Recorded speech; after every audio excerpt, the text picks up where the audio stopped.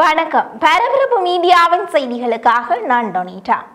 Ukraine ஜனாதிபதி Zelensky சென்ற இடம் ஒன்றின் மீது விமான தாக்குதலை நடத்த ரஷ்யா போட்டிருந்த திட்டத்தை தாம் அறிந்து கொண்டு அதை தடுத்துள்ளதாக உக்ரைன் உளவுத்துறை எஸ்பியு தெரிவித்துள்ளது. உக்ரைன் ஜனாதிபதி ஜெலன்ஸ்கி ஜூலை மாத இறுதி பகுதியில் மைக்கோலை பிராந்தியத்துக்கு செல்ல திட்டமிடப்பட்டிருந்தது. அவரது பயணத்தின் போது அந்த பிராந்தியத்தில் அவர் எங்கே செல்ல போகின்றார் எப்போது செல்ல போகின்றார் எந்த இடத்தில் இருப்பார் எவ்வளவு நேரத்துக்கு தங்குகின்றார் என்பது பற்றிய விவரங்களை அறிவதற்கு ரஷ்ய உளவுத்துறை முயன்றது. உக்ரைனுக்கு உள்ளே வசிப்பவர்களை வைத்து தகவல் திரட்டியதாகவும் உக்ரைன் உளவுத்துறையின் அறிக்கையில் தெரிவிக்கப்பட்டுள்ளது. உக்ரைனில் வசித்த ஒருவரை தமது உளவாளியாக்கி கொண்ட ரஷ்ய உளவுத்துறை அந்த நபர் மூலமாக தகவல்களை பெற முயன்றது. உளவாளியாக்கப்பட்டவர் ஒரு பெண்.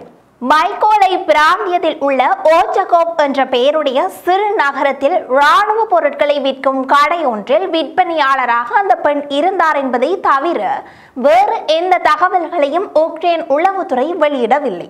ரஷ்ய உளவாளியாக செயற்பட்ட அந்த பெண் மைக்கோலை பிராந்தியத்தின் வெவ்வேறு பகுதிகளுக்கு சென்று புகைப்படங்களையும் காணொளிகளையும் எடுத்ததாகவும் தெரிய வருகின்றது. அவருடைய நடவடிக்கைகள் சந்தேகத்துக்கிடமான முறையில் இருந்த காரணத்தால் உக்ரைன் உளவுத்துறையால் அவர் கண்காணிக்கப்பட்டார்.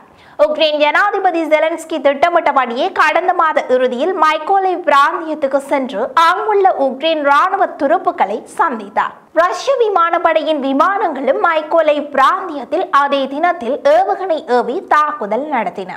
ஆனால் செலன்ஸ்கிக்கு எதுவும் ஆகவில்லை. ஏனென்றால் மைக்கோலை பிராந்தியத்தில் அவர் இருந்த இடம் வேறு தாக்குதல் நடத்தப்பட்ட இடம் வேறு. ரஷ்ய உளவாளியாக செயற்பட்ட பெண் அதற்கு முன்பே என்னென்ன தகவல்களை ரஷ்ய உளவுத்துறைக்கு கொடுத்தார் என்ற விஷயம் அவரது தொடர்பாடலை ஒட்டுக்கேட்ட உக்ரைன் உளவுத்துறைக்கு தெரிய வந்திருந்தது. அதனால் உக்ரைன் ஜனாதிபதி செலன்ஸ்கியின் பயண திட்டங்கள் இறுதி நேரத்தில் மாற்றப்பட்டு புதிய இடம் ஒன்றில் சந்திப்பு நடக்க ஏற்பாடு செய்யப்பட்டது. அவர் அடையாளம் குறிப்பிடாத இடம் ஒன்றில் உக்ரைன் இராணுவத்தினரை சந்தித்தார்.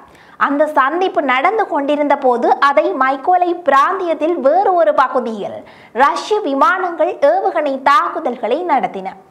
ஆரம்ப திட்டமிடலில் அந்த இடத்துக்கு தான் செலன்ஸ்கி போவதாக திட்டமிடப்பட்டிருந்தது. உளவாளியாக செயற்பட்ட அந்த பெண் மீது உளவு பார்த்த குற்றச்சாட்டு அந்த விதத்தில் உறுதி செய்யப்பட்டது. அதன்பின் அவருடைய தொடர்புகள் உளவு பார்க்கப்பட்டன. ரஷ்ய உளவுத்துறையில் இருந்து அவருக்கு மற்றொரு பணி கொடுக்கப்பட்டது. உக்ரைனின் மைக்கோலை பிராந்தியத்தில் எந்தெந்த இடங்களில் மின்னியல் போர் சாதனங்கள் இருக்கின்றன எந்தெந்த இடங்களில் ஆயுத கிடங்குகள் இருக்கின்றன என்ற விவரங்களை சேகரிக்குமாறு ரஷ்ய உளவுத்துறை அவருக்கு உத்தரவிட்டது. ரஷ்ய உளவுத்துறையுடன் அவர் தொடர்பில் இருந்தபோது உக்ரைனில் வைத்து கையும் களவுமாக கைது செய்யப்பட்டார். இந்த தகவலை இப்போது உக்ரைன் உளவுத்துறை வெளியிட்டுள்ளது. ரஷ்யர்களின் குறிவைப்பு பட்டியலில் உக்ரைன் ஜனாதிபதி முதலிடத்தில் இருப்பார் என்பது எதிர்பார்க்கப்பட்டதே. புட்டினுக்கு எதிராக பேசியவர்கள் அடுக்குமாடி கட்டடங்களில் இருந்து மர்மமான முறையில் விழுவதும் அவர்களது உணவில் நஞ்சூட்டப்படுவதும் அவ்வப்போது நடக்கும் விஷயங்கள்.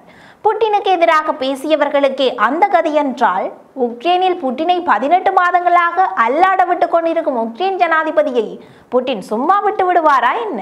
உக்ரைன் ஜனாதிபதி செலன்ஸ்கி ரஷ்யர்களால் பத்துக்கு மேற்பட்ட தடவைகள் குறிவைக்கப்பட்டார் என்று தெரிவித்த ஜனாதிபதியின் ஆலோசகர் மைக்கைலோ பொடோலியாக் ரஷ்யர்கள் எப்போது எங்கெங்கே என்னென்ன முயற்சிகளை செய்தார்கள் என்பது எமக்கு நன்றாக தெரியும். அவற்றை எப்படி தடுக்க வேண்டும் என்பதும் எமக்கு நன்றாக தெரியும் என்று கூறினார். எம்மிடம் மிக திறமையான உளவு வலைப்பின்னல் ஒன்று இருக்கின்றது. அதை தவிர சில வெளிநாட்டு உளவுத்துறைகளும் எமக்கு தகவல்களை கொடுக்கின்றார்கள். இதனால் ரஷ்யர்கள் பத்துக்கு மேற்பட்ட தடவைகள் முயற்சி செய்தும் உக்ரைன் ஜனாதிபதி ஜெலன்ஸ்கியை நெருங்க முடியவில்லை என்றார். உக்ரைனில் ரஷ்யா யுத்தத்தை தொடங்கியது கடந்த ஆண்டு பிப்ரவரி மாதம் இருபத்தி நான்காம் தேதி.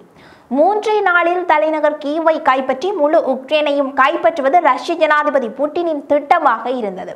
யுத்தம் தொடங்கிய முதலாவது நாளே தலைநகர் கீவில் உள்ள ஜனாதிபதி மாளிகையில் இருந்து உக்ரைன் ஜனாதிபதி செலன்ஸ்கியையும் அவரது குடும்பத்தினரையும் கடத்தி செல்வது என்று ரஷ்யர்கள் திட்டமிட்டிருந்தார்கள். ரஷ்ய ராணுவம் உக்ரைனுக்குள் சென்ற முதலாவது தினமான பிப்ரவரி மாதம் இருபத்தி நான்காம் தேதி அந்த ராணுவ நடவடிக்கையை தொடங்கியது ரஷ்யாவின் அதிரடி படை பிரிவு. தலைநகர் கீவுக்குள் ஹெலிகாப்டர்களில் பறந்த ரஷ்ய துருப்புக்கள் ஜனாதிபதி மாளிகைக்கு வெளியே தரையிறக்கப்பட்டார்கள். அங்கே உக்ரைன் ராணுவம் அவர்கள் மீது தாக்குதல் நடத்தினார்கள். முதலாவது நாளே உக்ரைனின் தலைநகர் வீதிகளில் இருதரப்பும் யுத்தம் புரிந்து கொண்டார்கள். ஜனாதிபதி மாளிகையை நெருங்க முடியாதபடி வீதி தடைகள் அமைக்கப்பட்டன. ஜனாதிபதி மாளிகைக்கு வெளியே யுத்தம் புரிந்து கொண்டிருந்த போது உக்ரைன் ஜனாதிபதி ஜெலன்ஸ்கிக்கு குண்டு துளைக்காத கவச ஆடைகள் வழங்கப்பட்டன. அத்துடன் தானியங்கி இயந்திர துப்பாக்கிகளும் கொடுக்கப்பட்டன. ஜனாதிபதி அவருடைய ஆலோசகர்கள் மற்றும் அதிகாரிகள் எல்லோருக்கும் இயந்திர துப்பாக்கிகள் கொடுக்கப்பட்டு அவர்களும் தாக்குதல் நடத்துவதற்கு தயாராக இருந்தார்கள். உக்ரைன் ஜனாதிபதி செலன்ஸ்கியை கடத்தி செல்வதற்காக அனுப்பப்பட்ட ரஷ்ய துருப்புக்கள் பலியானார்கள் அல்லது கைது செய்யப்பட்டார்கள். இப்படி ஒரு முயற்சி நடைபெறுவதை தெரிந்து கொண்ட அமெரிக்க மற்றும் பிரிட்டிஷ் உளவுத்துறைகள் அந்த விவரங்களை தமது அரசு தலைமைக்கு தெரிவித்தார்கள். அமெரிக்காவும் பிரிட்டனும் தமது விமானங்களை உக்ரைன் தலைநகர் கீவுக்கு அனுப்பி உக்ரைன் ஜனாதிபதி செலன்ஸ்கியை அங்கிருந்து மீட்டுச் செல்வதற்கு ஏற்பாடுகளை செய்ய தொடங்கினார்கள்.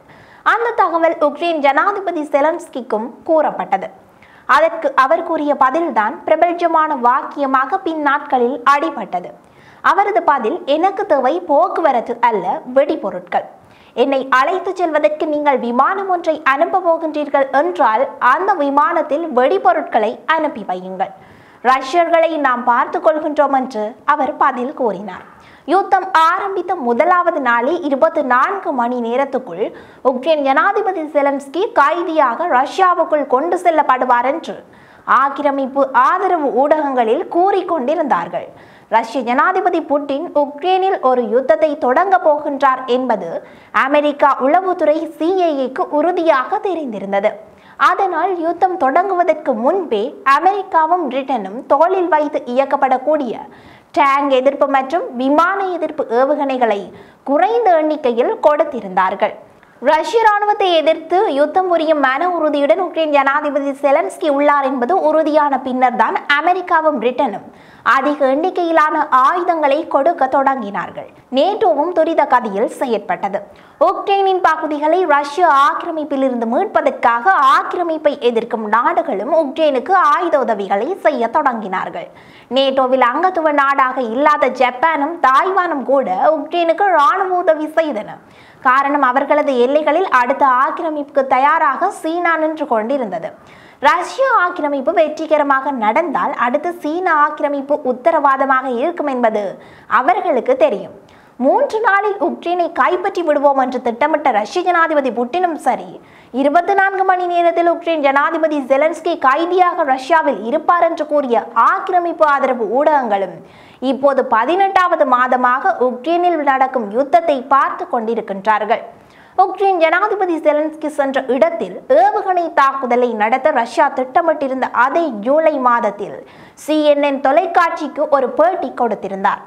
அந்த பேட்டியில் அவருக்கான சொந்த பாதுகாப்பு பற்றிய கேள்விகள் கேட்கப்பட்டிருந்தன. அதற்கு பதில் கூறிய அவர் ரஷ்யர்களுக்கு பிரதானமாக தேவை எனது உயிர் என்பது எனக்கு நன்றாகவே தெரியும். ஆனால் நான் அது பற்றி யோசிப்பதில்லை. உயிராசை வந்துவிட்டால் அதன்பின் நான் முழுமையாக செயற்பட முடியாது.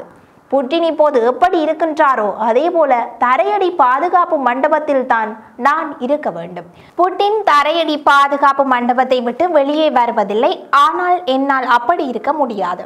எனது மக்களுக்கு என்ன ஆபத்து ஏற்படுகின்றதோ அதே ஆபத்து ஜனாதிபதிக்கும் ஏற்பட வேண்டும்.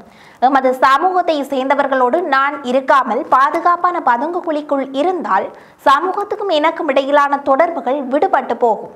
அப்படி நடந்தால் எமது சமூகத்தை நான் இழந்து விடுவேன் என்றார். டைம் சஞ்சிகை உக்ரைன் யுத்தம் பற்றி வெளியிட்ட ஒரு அட்டைப்பட கட்டுரையில் சில புகைப்படங்களை வெளியிட்டிருந்தார்கள். அதில் ரஷ்ய ஜனாதிபதி புட்டின் வெளிநாட்டு தலைவர்களை சந்திக்கும் போது கூட இருவருக்கும் இடையே மிகப்பெரிய தூரம் இடைவெளி இருக்கும்படி பார்த்து கொண்ட புகைப்படங்களும் இருந்தன.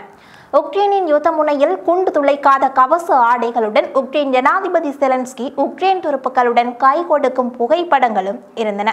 டைம் சஞ்சிகையில் எழுதப்பட்ட அந்த கட்டுரையில் எழுதப்பட்டிருந்த ஒரு வாக்கியம் புட்டின் கடந்த பல மாதங்களாக மரண பயத்தில் இருக்கின்றார். உக்ரைன் ஜனாதிபதி செலன்ஸ்கிக்கு அச்சம் கொள்ள நேரமில்லை. அவர் யுத்த களத்தில் இருக்கின்றார் என்று குறிப்பிடப்பட்டிருந்தது.